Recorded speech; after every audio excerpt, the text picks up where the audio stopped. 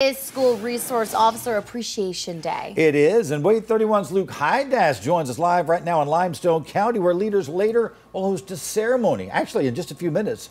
So, Luke, tell us more about this. Yeah.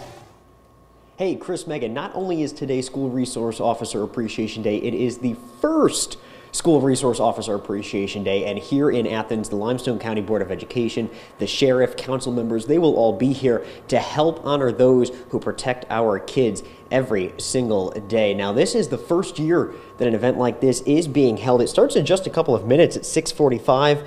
Governor Kay Ivey, the National Association of School Resource Officers, they all came together, decided today would be the perfect day to commend these men and women in blue. And why is that? Well, it is right smack dab in the middle of the school year, and all these officers do is about protecting our kids after all. So, National Law Enforcement Appreciation Day, that's always existed, but today, the first one ever specifically designed for SROs, that is. So, inside this boardroom here, in just a couple of minutes, the ceremony begins. We'll get some footage of that and show it to you today on WAAY 31 Midday News. Live in Athens, Luke Hydash, WAAY 31 News.